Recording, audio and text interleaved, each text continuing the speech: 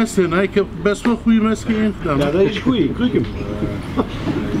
Maar eigenlijk zou die mestdag gistermorgen komen. Toen kwam het in de middag.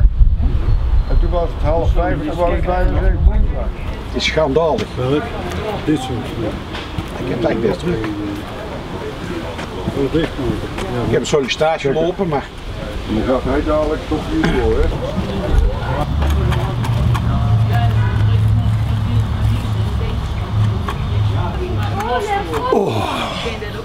Wat ben je aan het maken?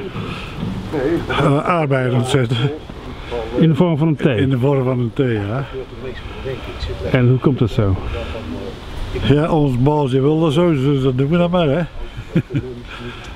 Ik eh, ben een eh, uitdrukking aan het maken over het 14e gedicht van eh, Anton Doutsenberg, de stadsdichter. Een thee. Een thee. Anton heeft een eh, gedicht geschreven met de thee van Tilburg, maar dan op zijn kop. Dus eigenlijk Tilburg tegen draads.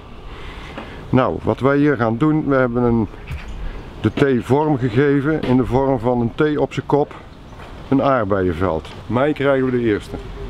En eigenlijk naar aanleiding van het boek wat in 1988 is uitgekomen van het Sociaal Pensioen van Gerrit Poels, Huizen Poels. En dat boek heette Niet alle aardbeien gaan naar de veiling. En deze aardbeien in de vorm van thee tegen draads gaan ook niet naar de veiling. Waar gaan ze dan toe?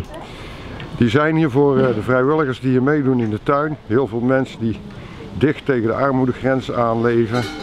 En die hier ook de groenten gratis meenemen. Als je meewerkt in de tuin heb je gratis groenten. Dus deze aardbeien gaan niet naar de veiling, maar die gaan naar de vrijwilligers. Nee, maar mensen vragen er dan. Er zitten hier ook mensen met PGB's. En mensen hoeven ook niks te betalen om mee te doen hier. Gaan allemaal meedoen en wij zorgen voor het zaad. Dus ze moeten er alleen zelf in stoppen en zelf verzorgen. Dus ja. Nou, dat heb je net gezien met de aardbeien ook. Hè. Die mensen hebben zelf de aardbeien erin gezet. En straks mei, juni, juli tot en met augustus kun je aardbeien komen plukken.